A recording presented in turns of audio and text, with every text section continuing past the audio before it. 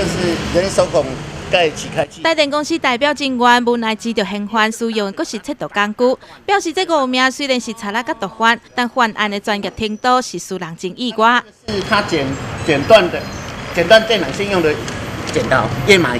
南投县第三警分局十二号暗时，会同刑警、员警甲中华分局的共同追踪侦办下，抓到以张姓嫌犯为首的个人偷电缆线窃盗集团。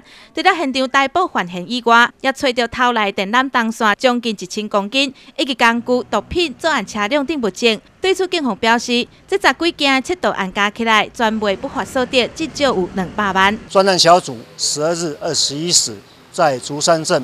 破获以张姓范闲为首的电缆窃盗集团，当场逮捕作案范闲五人，收赃业者一人，取获电缆裸铜线九百九十三公斤。这个犯罪集团呢，一百零一年起啊，陆续在南投、彰化、云林、中南部七县市啊作案。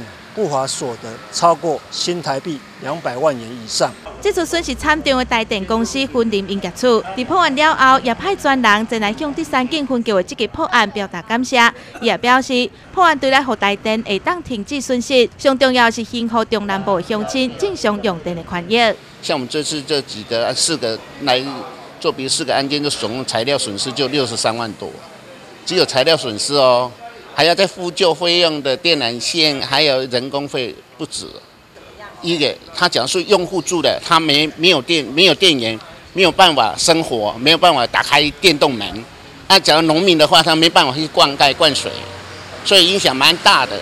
所以我们一直说，我们董事长跟我们总经理都很重视这个案件。那所以我一直代表我们董事长跟我们总经理。像我们这个安局长率领的团队，很感谢他们。